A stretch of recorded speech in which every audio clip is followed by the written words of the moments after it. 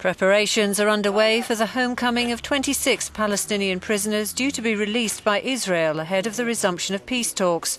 The 26 are the first of a total of 104 that Israel's decided in principle to free as part of the agreement reached after shuttle diplomacy by US Secretary of State John Kerry.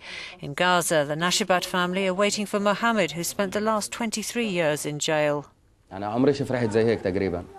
I've never felt as happy as I feel today. It's so hard to grow up without a father. The father's presence is essential. The father teaches. Sometimes he can be tough, sometimes he can be easy. That's a father. Thank God. It's as if I'm a child and we can start from the beginning.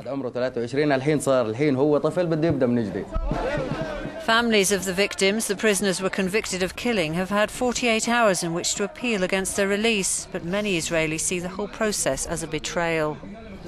I want the government to understand that they're giving the wrong message to our youth because our youth are understanding now that their blood has no worth and they're giving the wrong message to the other side that they should go ahead and kill because it gives them power. Israel has sweetened the deal by announcing more Jewish settlement building in occupied areas, a move roundly condemned by the UN and European Union.